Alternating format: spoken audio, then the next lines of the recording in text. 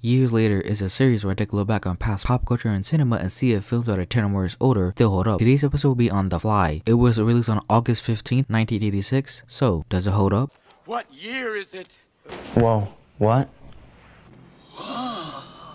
What year? No.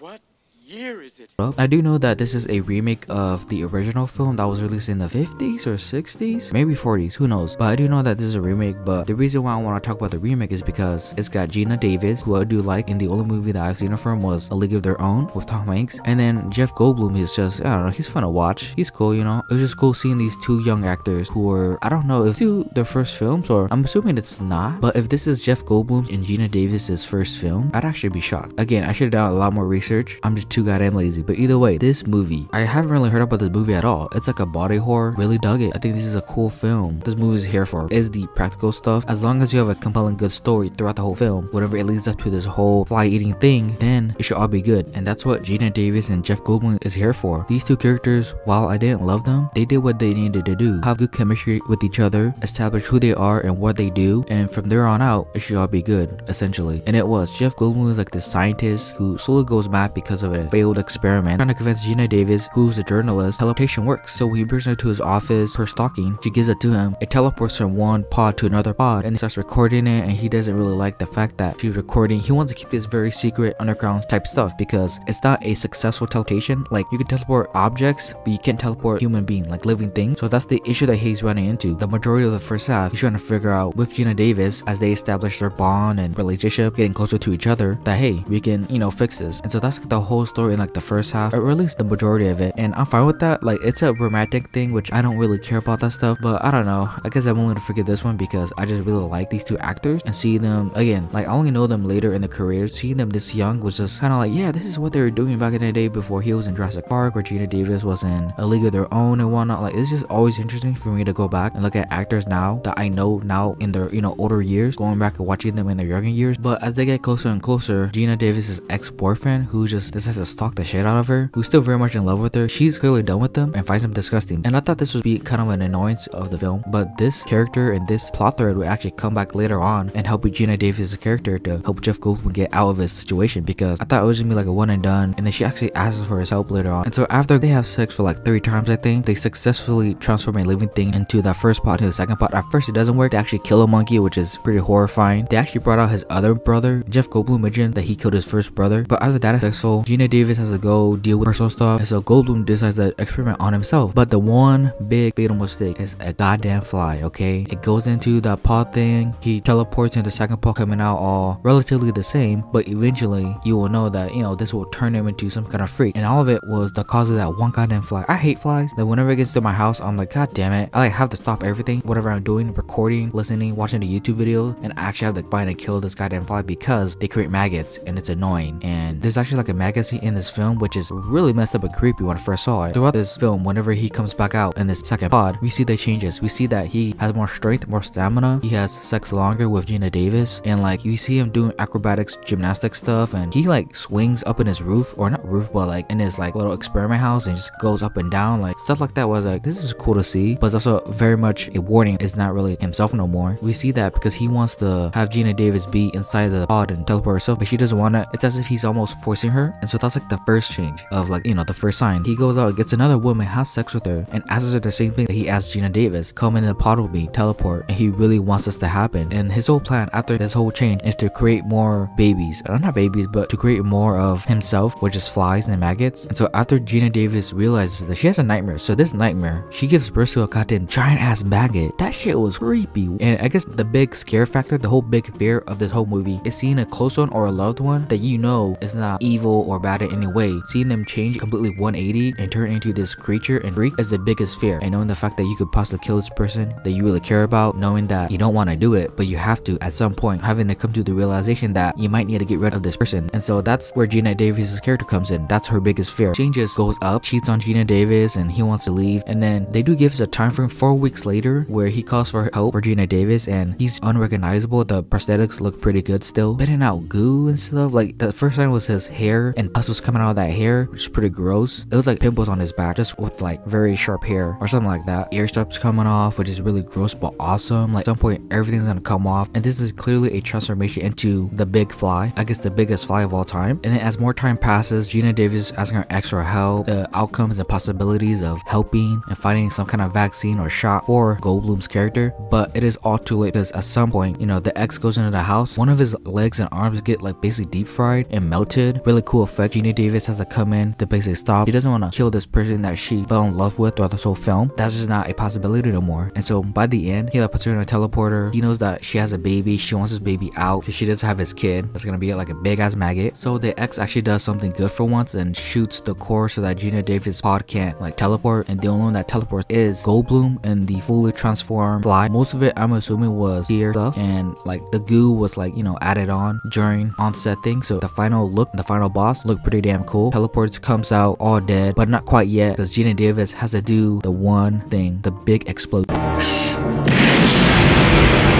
She does it. The shotgun, I think, and shoots his head. His head explodes in an amazing way. It looks beautiful. And yeah, she has to kill this, this lover, this guy that she wants to know, completely change and transform into a goddamn fly. And all of this happened because a stupid goddamn fly. So in the end, The Fly 1986, this remake, I very much enjoyed. Like, you know, it's the whole love thing. It's like, I don't care about that. But I do like Goldblum and Davis as actors. So I was like, you know what? I don't mind it. And then to see the change within Goldblum and to see the worry on Davis's face and just trying to figure out what to do to help this man that she truly loves. After all her efforts, her biggest fears come true. Well, one, that pregnancy magazine, disgusting but awesome and scary. And two, the big fear is seeing someone that you love or a close one or loved one completely change out of nowhere and having to basically kill them and you don't really want that. The Fly 1986 remake, 35 years later, it still holds up. It is still pretty damn good. So that's it for me. This has been The World So Far and thank you for watching.